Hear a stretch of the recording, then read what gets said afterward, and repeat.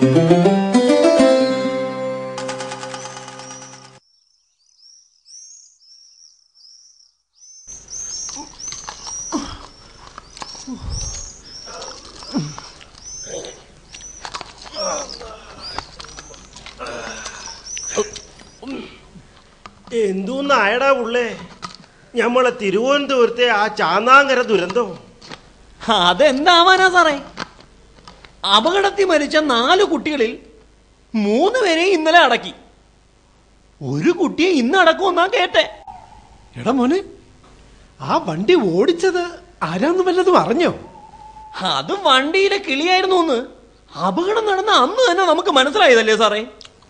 Driver എന്നും പറഞ്ഞ് വണ്ടിയിൽ ഇരുന്ന ആൾക്ക് അത് ഓടിക്കാനുള്ള അർഹതയില്ലെന്നാ മോട്ടോർ വാഹന വകുപ്പുകാർ പറയുന്നേ.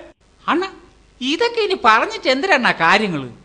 അതൊക്കെ നടക്കണ മുമ്പേ പറഞ്ഞാലല്ലേ അണ്ണ? കാര്യങ്ങളുള്ളൂ. നീ എന്താടാ ഈ പറയുന്നത് ഒന്നും രണ്ടും ഒന്നും അല്ലല്ലോ. ഇതുപോലുള്ള മുപ്പതിനായിരം വണ്ടികളല്ലേ ഇവിടെ പിള്ളേരായും കൊണ്ട് ഓടുന്നേ? പള്ളിക്കൂടങ്ങളുടെ ഔദ്യോഗിക വാഹനങ്ങൾ എന്ന് പറയപ്പെടുന്ന പതിനായിരം കൂടാതെയാണ് ഇതൊന്നും കൂടി ഓർത്തോളണം. പിന്നെ വകുപ്പുകാരെന്ത് ചെയ്യും?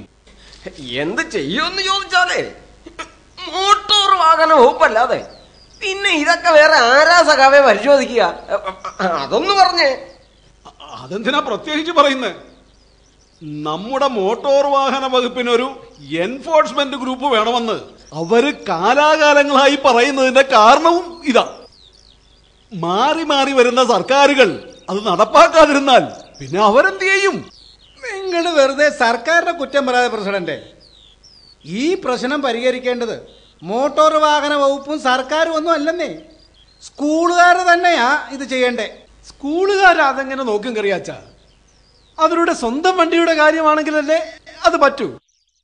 അല്ലാതെ നാട്ടിലോടുന്ന വണ്ടി മുഴുവൻ അവരെങ്ങനെ നോക്കും? നോക്കാൻ എന്താ പാട്?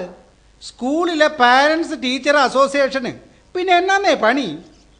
കുട്ടികളുടെ വരവിലും പോക്കിലും അവരൊന്ന് കണ്ണുവെച്ചാൽ പ്രശ്നം അവിടെ തീരത്തില്ലയോ? എന്റെ അള്ളാ. എങ്ങനെ ആയാലും ഇനിയെങ്കിലും ഇങ്ങനെയൊന്നും ഇല്ലാണ്ടായാ മതിപ്പാ. കൽബിൽ കനിവുള്ള ഒരാൾക്കും ഇതിനെക്കുറിച്ച് കേൾക്കാൻ പോലും പറ്റൂലപ്പാ.